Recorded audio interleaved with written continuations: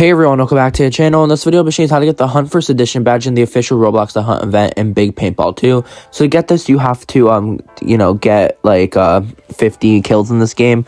They're basically called tags. This took me roughly around 10 minutes. It's really simple. Uh, I ended up going really like beast mode in the last game. Like I, I set all my drones. I set all. I didn't know you could even use those drones. I didn't know that's what they were for.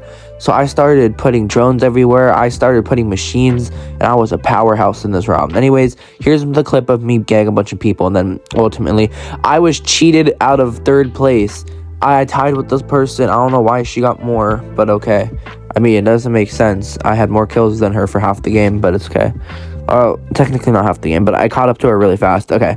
Uh, here's me going ham. I placed a lot of robots everywhere and just, I just did really well. And I was kind of like, this game is actually not that bad to be honest. Like, I, it got me a little competitive, and uh, the badge is not that bad too. It's like really easy. I should have done it sooner, to be honest.